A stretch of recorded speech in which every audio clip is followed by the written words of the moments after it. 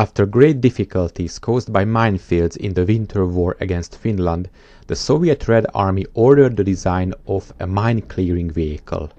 Prototypes were tested based on the T-28 medium tank in 1940. Development was interrupted by the start of World War II, but resumed in 1942. T-60 and other tank chassis underwent trials, but only the T-34 was deemed to have a sufficiently robust transmission and clutch.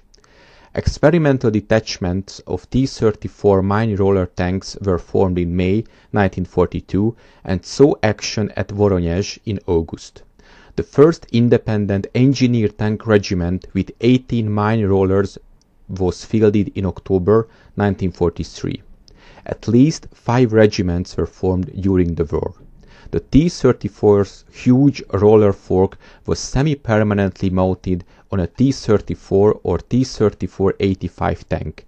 The rollers were usually removed for travel and only installed for mine clearing operations before the attack. The Soviet system was adopted by US and Israeli forces in the 1980s. Thanks for watching Please subscribe and support my channel on PayPal. Details in the description box.